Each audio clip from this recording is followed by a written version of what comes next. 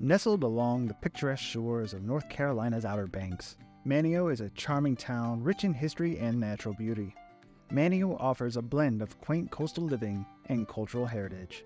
Residents and visitors can explore historic downtown, featuring numerous landmarks. Tucked into Shallowbag Bay, you will find Roanoke Marshes Lighthouse. The lighthouse was completed in 2004. The Screwpile Lighthouse is filled with educational and historic exhibits, including a Fresnel lens dating back to the 1800s. The great location of the marina makes for very easy access to the Roanoke Sound, Intercoastal Waterway, and the Atlantic Ocean.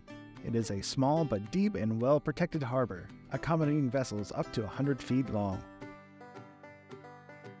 The weather tower in downtown Manteo watches over the waterfront every day, keeping an eye on approaching storms. The Manteo Weather Tower was originally established on November 10, 1904, by the U.S. Weather Bureau. The weather signal flags fly high to not only reflect the weather, but also the heritage of our community. The Pea Island Cookhouse Museum tells the story of the only life saving station in the U.S. to have been manned by an all black crew. Cartwright Park was dedicated to Andrew Cartwright. It is situated on the grounds of Cartwright's first church, dating back to 1865. The park is next to the Collins Gallup Playground. This park provides a safe place for recreation for the town's children. Jules Park was established by Jewel Burris and Guy Midgett.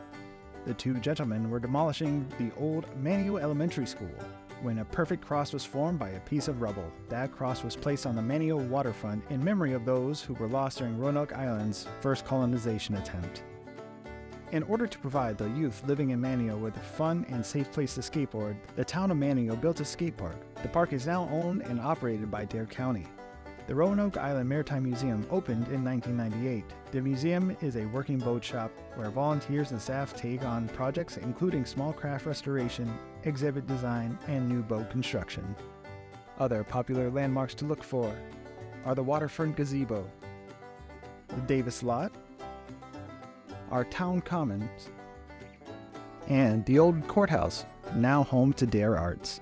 Manteo has so much to offer for visitors and residents. To learn more about the town of Manteo, visit manteonc.gov.